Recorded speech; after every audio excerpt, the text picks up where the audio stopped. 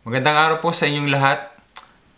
Ito po muli si Chad and welcome po sa aming YouTube channel, Adventures of Avilara.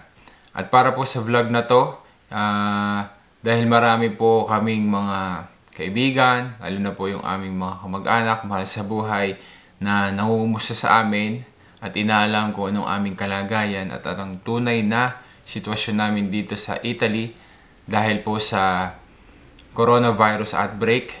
So, naggawa na po ako ng vlog ah, tungkol po sa bagay na to at uh, makikita nyo po sa link sa baba yung vlog na yon at ginawa ko po yon one week ago.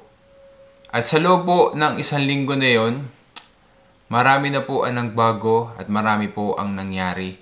Dahil po sa lumilipas sa mga araw ay lalo pong nagiging uh, sabihin nating masamang kalagayan o dumadami pa ang mga cases ng coronavirus dito sa Italy. So, yung akin po mga nabanggit sa vlog na yon, marami na po ang nangyari doon. Kaya, manood po kayo ng vlog na to para malaman po ninyo kung ano ba talaga ang sitwasyon namin dito sa Italy, lalo na kami na nandito sa Milan na isa sa mga probinsya o sa mga syudad na talagang matindi ang epekto ng coronavirus. Kung kayo may mga mahal sa buhay na nandito po sa Italy, lalo na sa Milan, panoorin nyo po ang vlog na to para malaman ninyo kung ano po ang tunay na sitwasyon namin po sa ngayon dito. Una-una po, nagpapasalamat kami sa mga mahal namin sa buhay, mga mag-anak namin, yung aming po mga kaibigan kakilala na kami po ay kinukumusta kung ano po ba ang aming kalagayan dito sa Italy. Salamat po sa inyong mga concern at sa inyo pong mga wishes sa amin na kami mag-ingat dito na matatapos din po ito. So, umpisahan po natin ang pag-discuss kung ano ba talaga ang sitwasyon namin dito sa Milan, Italy. Ayon po sa report, outside ng mainland China, ang Italy ang sunod na pinakamaraming cases ng coronavirus. As of March 12, 2020, ang cases na po ng coronavirus dito sa Italy ay 15,000 plus na. Over 1,000 na ang mga namatay. At dito po sa Lombardy, kung nasaan nando doon ang Milan, kasama kami doon, dito po pinakamataas yung mga cases ng coronavirus, yung mga infected at ng mga cases of deaths. Dito po sa Lombardy, 8,725 ang cases ng coronavirus 744 naman ang deaths. So talagang uh, seryoso po ang, ang coronavirus dito po sa Milan, Italy. At ayon po sa report, ang Italy po, sabihin natin na parang siya ang nagkumbaga masama mang sabihin pero parang dito sa Italy nanggaling yung ibang mga cases ng mga coronavirus throughout sa Europe. Okay? Hindi naman lahat pero mostly ng mga naging infected sa iba't ibang bansa dito sa Europe ay either Italians na umuwi dito tapos nagbakasyon doon o kaya naman ay yung ibang nationalities ay nagbakasyon dito sa Italy and then nakuha nila pagbalik nila sa bansa nila meron na silang coronavirus. Ganun din po sa Africa na isang Italiano din na doktor ang nakapagdala ng coronavirus doon. So, ang nangyayari po ngayon, ang mga Italiano, kumbaga, parang nagiging biktima sila ng racial discrimination. Makikita nyo po sa isang video na kumalat na doon sa London, yung mga Italiano na kumuha sila ng isang Uber ata yun o Grab, ay hindi sila pasakayin ng driver kasi nalaman na sila ay mga Italiano. So, sabi ng driver ay nag-iingat lang daw siya para sa kanyang kalusugan kaya hindi niya pwedeng pasakin. Siyempre, sabi naman ng mga Italiano sila daw ay nabiktima ng racial discrimination. Pero kung iisipin natin, di ba, ironic. Dahil lang dito sa Italia, alam naman natin at according din to sa mga reports na ang Italy is one of the top countries na pagdating sa issue ng racial discrimination. At yun po ay alam na alam namin na kami ay nandito po sa Italia. Dahil noong nagsisimula pa lang itong coronavirus, talaga namang napakatindi ng racial discrimination sa mga Chinese. At apektado rin ang mga Pilipino dahil sila hindi nila malaman kung ang isang Asian ay Chinese ba yon o Pilipino. At ang may mga cases na, kagaya na nabanggit ko po doon sa isa kong vlog na nauna, meron pong Pilipino na bugbog dahil napagkamalan siyang uh, in-check. Meron din na nakapag-away supermarket dahil napagkamalan din na in-check. At recently, na nag-viral din dito yung sa Milano, mag-aama na, na minakaaway din na isang Italiana, isang senyora dahil uh, napagkamalan din sila na sila ay in-check na ganun po. Pero kung isipin natin ngayon ay parang nabaligtad na ang pangyayari na ang maging ang mga Italiano nagiging biktima rin ng racial discrimination. Dito po sa Europe, kasi nga, kumbaga, ang Italia ang parang naging source ng coronavirus dito sa Europe. So, sitwasyon po namin dito, talaga ngayon as in total lockdown na. Dati po ay kung uh, Lombardia lang, ngayon po ay hindi na buong Italia lockdown. So, ibig sabihin po, lahat ng flights canceled. Ang mga school sarado pa rin. Ang mga museum, mga church ay sarado pa rin hanggang April 3. Dati po, ang uh, mga pub, restaurante, ganyan, ay mga bar ay nagsasara lang ng 6pm. Ngayon po ay talagang sarado na lahat. Kasi sa lumilipas sa mga araw ay lalong nadadagdagan ang mga cases at ang mga namamatay. Kaya talagang ginawa na ng gobyerno na i-total lockdown na ang buong Italia.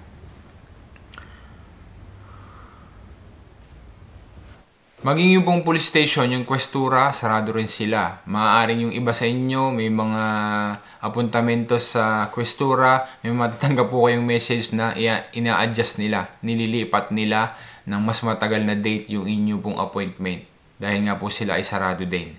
Dati po, yung mga soccer games dito, ay sabi anong una ay tuloy ang mga laro behind closed doors. Ibig sabihin wala mga fans. Pero ngayon dahil nang yung isa po ditong soccer player sa isang sikat na team ay nag-positive din sa coronavirus, kaya ang ginawa nila ay yun pong mga soccer games dito ay pinatigil na din, suspended na rin. Dahil tayo mga Pilipino, tayo naman ay laging nanonood ng NBA, alam natin na yung NBA ay suspended na rin until further notice ang season na ito.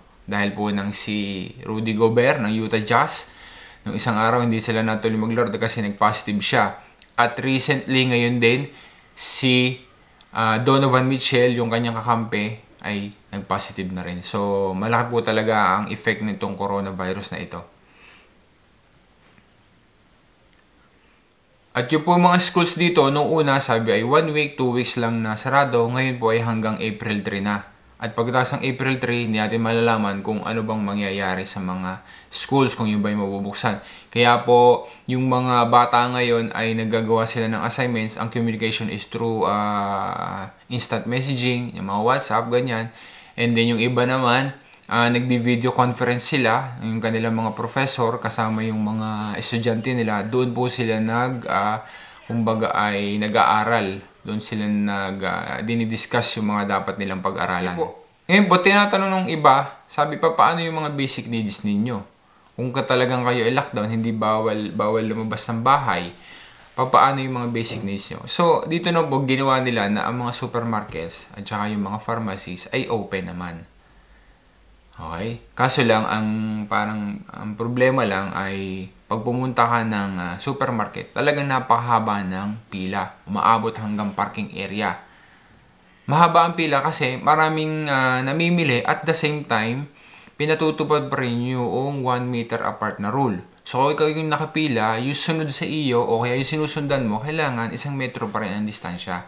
Kaya yung pila, dahil sa madami na, dahil marami, malaki pa rin ang distansya, umaabot hanggang parking area. Kaya ang tagal bago ka makabili ng mga kailangan mo. Kaya po dito ngayon talagang as in literal na bawal ang lumabas ng bahay. Meron nga po silang uh, naging rule ngayon na yung iyo resto a casa. Ibig sabihin ay I stay at home. Na kung wala kang uh, sapat na dahilan, eh hindi ka pwedeng lumabas ng bahay. Kung ikaw ay uh, mag uh, mamamalingke, sabihin natin, pumunta ka ng supermarket, kailangan doon ka lang sa vicinity mo. Kasi may mga supermarket po dito na nasa vicinity mo lang. Eh. Doon ka lang pwedeng pumunta. Hindi ka pwede na lalayo ka pa. Pag ikaw ay pupunta sa trabaho o kaya ay ah, para sa kalusugan, yung talagang necessary na lumabas, yun pwede. Pero hindi ka rin pwede pwedeng basta lalabas lamang. Kailangan magkakaroon ka ng ah, self-declaration o yung ang form na tinatawag din ng autodichiarazione. Kailangan mag-fill up ka noon kasi marami pong mga pulis at mga nagko-control sa labas, tinatanong nila talaga ang mga tao na nasa sa labas kung bakit, sila, bakit ka nasa labas, dapat ikaw nasa bahay, anong purpose mo, anong motibo mo, bakit ka nasa sa labas. Ngayon, pag na-control ka, wala ka na ipakita na ganun at hindi mo na justify yung iyong paglabas na yun ay necessary yung paglabas mo, mamumultahan ka po ng 206 euro. Worst, uh, worst case scenario, baka ikaw ay dalhin pa sa police station. Pagka ganun. Kaya, ina-advise ang lahat na ikaw ay mag-stay na lang sa bahay. At dahil din po sa halos lahat ay sarado at wala ang trabaho ngayon, so nagtatang sa akin, paano yun? Wala kayong trabaho, paano ang mangyayari sa inyo dyan? So dito po, dahil sa sarado nga halos lahat, uh, walang trabaho, so yung iba ay pinapagamit yung parang, uh, pinapagamit yung vacation leave, yung mga emergency leave, yan. Ay, problema lang, pagka wala ka ng ganun, eh, more or less wala ka talagang masusweldo. Yun po talaga ang dilema dito ngayon. Nasa bahay ka, hindi ka nagtatrabaho, pero di wala kung may susweldohin ka o wala. So, ang gobyerno dito, palibasa, eh, sabihin natin sa mayaman tayong bansa, ang gobyerno dito nagpalabas ng uh, dekreto din na suspended muna house mortgage, yung mga rent, yung mga electric bills, mga water bills, yan. Yung mga bills na yan ay uh, suspended muna. Pwede kang hindi muna magbayad kasi nga wala kang trabaho eh, wala kang susweldoin eh, kaya hindi ka makapagbayad. Kaya suspended muna yun. And then we will uh, we will see kung kailan ba dapat bayaran yun. Siguro pag naging normal na ang lahat at umayos na ulit ang sitwasyon, baka uh, saka mo pa lang yun babayaran. And uh, ito po, personal na experience palibasa, nung isang araw lang kami napatigil sa trabaho, mararamdaman mo talaga na seryoso ang sitwasyon dito sa Italia. Dahil nang paglumabas ka ng karasada, empty yung mga streets, lakas makikita, huwag sumakay ka ng subway, ng public transpo, ilan-ilan lang yung mga sakay, tapos ay layo-layo din. Dati ay uh, siksikan, kumbaga, ngayon ay hindi. Kahit may upuan na, uh, na pwede kang upo, hindi ka upo kasi kailangan mo nga ng 1 meter na distansya doon sa sunod na katabi mo. Uh, punta ka ng Duomo, ng Piazza Duomo. Usually talagang laging puno yun. Ma- malulungkot ka kasi pag nakita mo doon eh, halos wala talagang tao. Sabihin natin mabibilang mo lang yung mga tao na nandoon. Tapos eh, mapapasin mo, malulungkot ka din dahil dati-rati yung mga kalapati doon, uh, nagliliparan sila, kumakalat sila, may nagpapakain sa kanilang mga turista. Ngayon, eh, makikita na sila ay nandun lang sa isang uh, lugar, sama-sama sila tabi-tabi, wala lang nagpapakain ng mga turista. Kaya talagang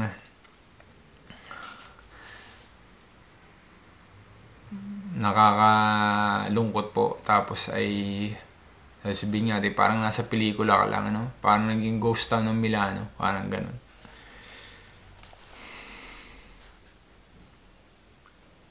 Ang isa pa sa report dito na nakakalungkot din, uh, although this has to be confirmed pa naman, Italy was caught by surprise by this coronavirus Uh, kaya yung health institutions dito sa Italy eh, is about to collapse. Sabi nila, uh, sa dami ng mga pasyente sa dami ng mga cases ng coronavirus, it is almost collapsing to the point na sinesegregate nila yung mga pasyente according to their age. Pag nakikita nila na medyo mas mataas yung survival nito, parang ipaprioritize nila yon And then kung hindi naman medyo matanda ka na, kumbaga Parang hindi mo na, hindi na rin makakasurvive. Parang, I don't know what the what the, the right term to use pero parang ganun po ang sitwasyon na uh, dahil nga ng ang Italy second to Japan is uh, yung uh, population nila ay mga old people, mga elderly people and kung mapapansin po ninyo na halos talaga ng mga cases ng deaths ay mga elderly people dito sa Italy. Kaya yun po ang nakakalungkot. Although, di pa natin sigurado kung ganun. Pero on the brighter side naman, nakikita mo yung ibang mga tao na uh, uh, private sector, government sector, talagang sila ay gumagawa rin ng paraan para makatulong sa health institution ng Italy para nga po malabanan at matapos ang problema dito sa coronavirus. Dahil literal na stop ang aming pong buhay dito hindi namin alam parang uh, hindi mo alam kung mangyayari kung after ba nitong March, nung April 3 ay maayos na lahat o hindi natin ma-extend ba ang lockdown? O, na mahirap pong uh, mamuhay in full of ano, uncertainties. Pero sabi nga po, as a citizen of a country na kung nasaan ka, eh, we have to share para po matapos na ang problema na ito. We have to do what we have to do to help the situation uh, be better. At paalala din, ito po, paano pagtatapos ng vlog na to, sabi nga po ay maghugas ng kamay, laging mag-sanitize, magsuot ng mask, uminom ng maraming tubig dahil uh, yun daw isang way para hindi ka maapektuhan itong virus na to. And above of it all, kailangan po nating manalangin. Let us all pray sana matapos na ang problema po na ito dahil uh, yun po ang ating magiging sandata sa panahon na ganito. And hopefully po, this will be my last vlog na ganito ang aming na ganito ang ating usapan tungkol sa coronavirus. And let us hope and I also hope na next time I will give you good news naman kung ano po ang nangyayari sa amin dito sa Italy. So, hanggang dito na lang po. Marami po salamat sa inyo pong panonood. Sana po ma-share nyo po ito, lalo na kung kayo may mga mahal sa buhay, kakilala na nandito sa Italy para at least alam din po nila kung ano ang nangyayari sa amin po dito, kung ano ang aming pong sitwasyon. Salamat po ng marami sa inyong panonood. This is Chad and remember, Chad will guide. Salamat po ng uh, ingat din po kayo.